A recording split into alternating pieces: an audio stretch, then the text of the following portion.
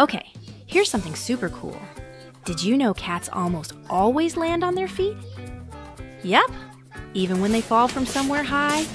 But wait, how do they do that? Are they secretly gymnasts? Ninjas? Tiny furry superheroes?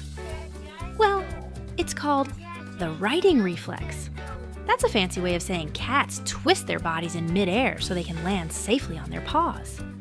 Their head turns first, whoosh, then their spine, twist, then their back legs follow, flip, and ta da!